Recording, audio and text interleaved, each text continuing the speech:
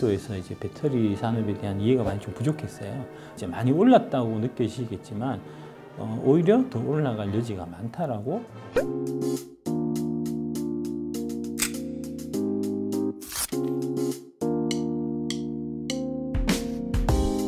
사실은 그동안 이제 여의도에서 이제 배터리 산업에 대한 이해가 많이 좀 부족했어요. 그래서 이제 그 결과로 좀 저평가받고 있었던 측면이 많이 있거든요. 어, 좋은 회사가 저평가되어 있으면 결국은 이제 원래 가치를 찾아가기 마련이니까 그런 이제 제 가치를 찾아가는 어, 과정 중에 있다라고 저희는 보고 있고요. 지금은 대략 한 20%에서 30% 수준에 와 있는 거 아닌가. 그 얘기는 즉슨 이제 많이 올랐다고 느끼시겠지만 어, 오히려 더 올라갈 여지가 많다라고 어, 볼수 있는 상황이다라고 어, 말씀드릴 수 있을 것 같습니다.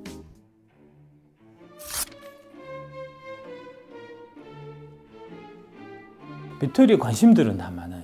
다 하고 싶어 하고. 다만 못합니다.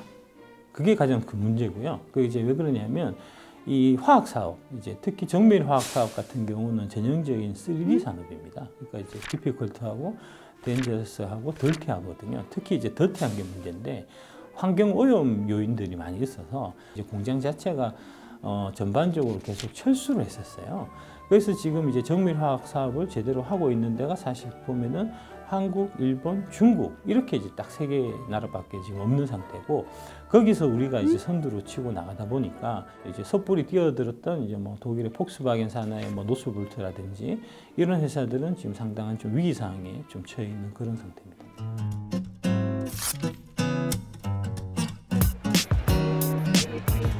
그 에코프로의 이제 이동채 회장님이 항상 말씀하신 게 이제 배터리 산업은 경험 사업이다. 어, 라고 말씀하셨는데 그 축적된 경험이 한국을 쫓아올 수가 없습니다. LG 에너지 솔루션에 이제 30년 동안 지치지 않고 계속해서 꾸준하게 투자를 하고 연구 개발을 하다 보니까 거기 관련된 이제 어, 2차 전지 장비라든지 2차 전지 소재를 만드는 회사들도 같이 동반 성장을 해서 그 기술력 수준이 어, 일본이나 이제 중국이 감히 쫓아오지 못할 수준까지 올라와 있고요. 사실은 2010년대 어, 중반 정도까지만 해도 일본이 우리를 사실 앞서 있었어요. 근데 이제 일본 같은 경우는 그렇게 해서 배터리 사업을 계속 진행하는 와중에서 발생하는 실패, 크게 돈을 물어주고 이런 것들을 못 견뎠어요.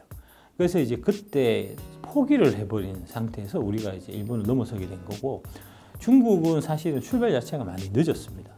어, 그 이제 여러분들이 많이 아시는 CATL 같은 경우가 2011년에 설립한 회사예요. 그러니까 우리나라 이제 기술자들, LG 엔솔이나 이제 삼성 SDI에 있던 분들이 어, CATL로 넘어가서 그 기술을 이제 만들어주는 그런 형태니까 그 남의 기술 훔쳐갖고 한 애들이 우리 기술을 어떻게 넘어서겠습니까?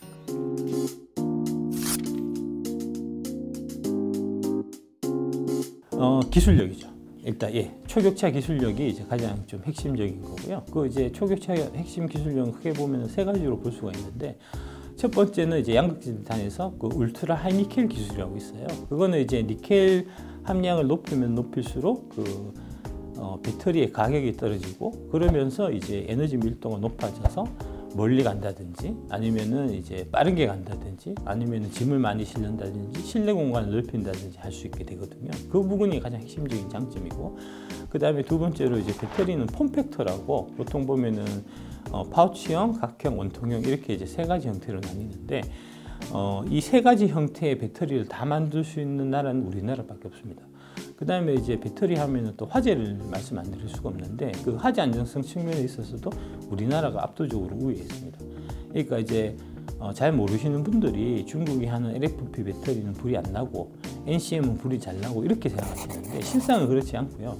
실질적으로 최근에 어떤 뉴스가 있었냐면은 이제 어, 테슬라가 원래 유럽 쪽에서 BYD의 그 LFP 배터리를 쓰기로 했었는데 안 쓰기로 이제 입장을 바꿨어요. 그 이유가 뭐냐면은 불난다는 겁니다. 어, 그런 이제 기술력 측면에서 우리가 이제 압도적으로 있어서 우리가 싸고 그 다음에 품질 좋은 배터리를 만들고 있고요.